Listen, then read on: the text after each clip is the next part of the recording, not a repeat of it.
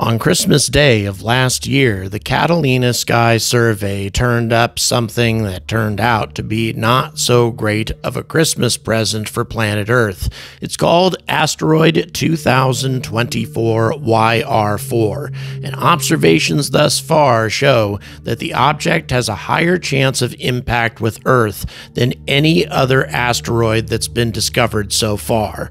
That doesn't mean that it's definitely going to collide with Earth, but NASA NASA has placed it at level 3 on the so called Torino scale due to a particularly close approach on December 22, 2032. On that day, this asteroid is predicted to pass the Earth at a minimum distance of 0.00001 astronomical units. Of course, an astronomical unit is the distance between the Earth and the Sun, but this is still a very small number. We're talking 1,500 kilometers, and even the tiniest variation in trajectory would bring this asteroid into contact with the Earth. And if this asteroid does indeed hit the planet, well, it's not going to be quite as serious as if, say, Apophis were to hit the Earth, but still, the consequences are going to be severe indeed, far more devastating than any single nuclear warhead in the arsenals of the most powerful militaries on the planet. So, we're going to take a quick look at this asteroid, determine just how dangerous it might be, and what we can do to stop it.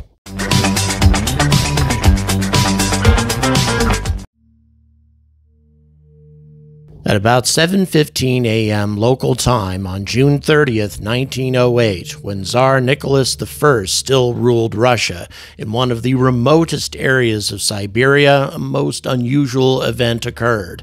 The few reindeer herders of the local Evenki people who witnessed the event, none from closer than 30 kilometers away, described seeing a fireball trailing smoke and then a flash brighter than the sun, followed by a loud noise like thunder. Those closest to the event reported being blown into the air and knocked unconscious, and their dwellings damaged or destroyed. Fortunately, because of the low population density, very few human casualties resulted, but many herds of reindeer were wiped from the face of the earth.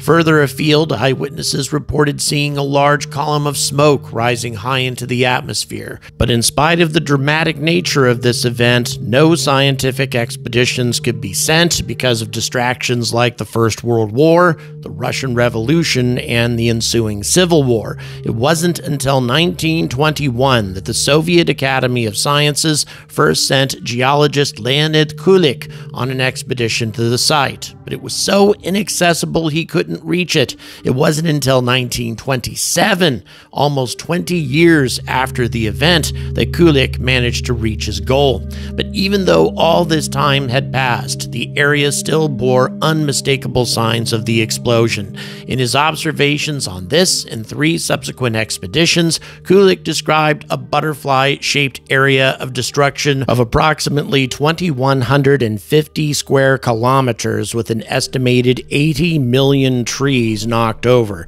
To put this into perspective, that's more than 10 times the area that's been devastated by the Southern California wildfires thus far. But Kulik sought and failed to find physical evidence of the asteroid, probably because it was a mid air explosion, airburst that created all of this devastation, and later expeditions did find microparticles indicating an extraterrestrial origin, but not specific enough to determine if the object was an asteroid or a comet.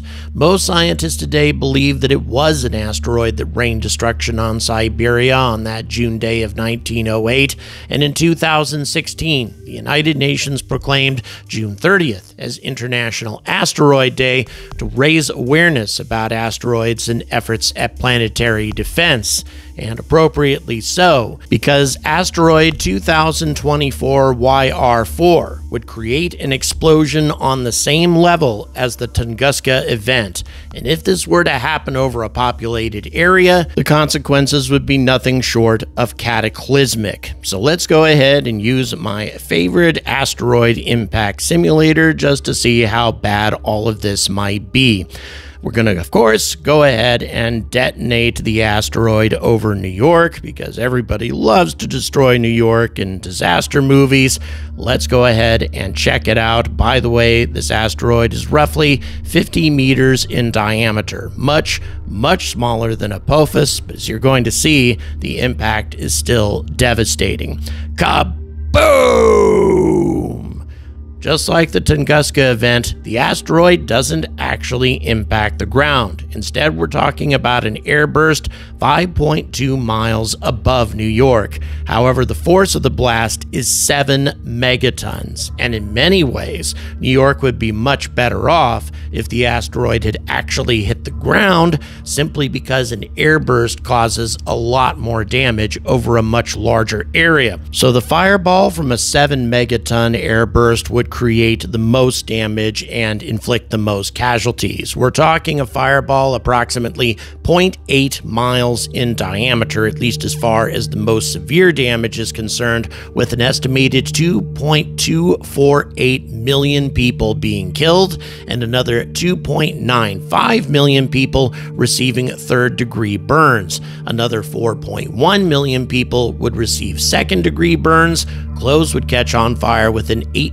2 miles of the impact, and trees would catch on fire within 21 miles of the impact. And in case you're wondering why I've suddenly switched over to miles instead of kilometers, well, it's because this particular application uses miles, so I'm just doing it in respect to the people who programmed the damn thing. But the fireball is not the only source of damage from a blast like this. In addition, we need to talk about the pressure wave. We're talking a 185 decibel shock wave, which would knock down all buildings within approximately 0.9 miles of the impact, and then homes within 4.8 miles of the impact would also collapse. However, only an estimated 97 people would die from the shock wave because virtually everybody within this blast radius would be dead from the fireball already. And then we need to talk about the consequences of the wind. That is even more devastating than the pressure wave. As you can see, the wind within the inner ring of the wind damage graph is the equivalent of an EF3 tornado peaking at 164 miles per hour, and the outer ring is the area that all trees would be knocked down in, a distance of 5.5 miles away from the airburst. All trees within an 11 mile diameter. Now, as this asteroid is subjected to further observations and astronomers get a better idea as to what its exact trajectory is likely to be, it's very possible that it's going to be downgraded to a zero level threat in the same way that Apophis has been downgraded. But once again, I don't think that a threat level should ever be a zero for asteroids that are passing this close to our planet. Because once again, even the tiniest deviation in trajectory, which could be caused by tiny asteroids impacting the larger one, asteroids that we can't observe, asteroids that we don't know about, any projected impact like that could theoretically push a safe asteroid into a much more dangerous trajectory. And we would have very little notice if something like this were to happen at the last moment. We need to be better prepared for these sorts of things, especially when it comes to asteroids that are passing this close, like 1,500 kilometers from our planet. We're talking about an object that could create create a 7 megaton explosion, well, that's too close for comfort for my taste. We need to be better prepared just in case something like this were to deviate even slightly onto a collision course at the last moment, a collision course that we would be powerless to change if we weren't properly prepared. And it really doesn't take much to be prepared for these sorts of things. Right now, NASA is doing half of what they need to be doing. Observation and early detection is indeed the key, but the other half is to have an interceptor ready to go, ready to knock one of these things off course should it become absolutely necessary. And by the way, United Launch Alliance is working on an interceptor just like this this at this particular moment, designed for military purposes, not for asteroid defense, but it could definitely be used for something like that. If you're interested in that interceptor, by the way, I have that video linked at the end of this one. But the worst thing we can do is nothing because it's a big damn sky and our coverage of that sky is still far from comprehensive. If an asteroid of this size were to suddenly pop up on a collision course with an impact happening in the next few weeks, we would be utterly powerless to stop it.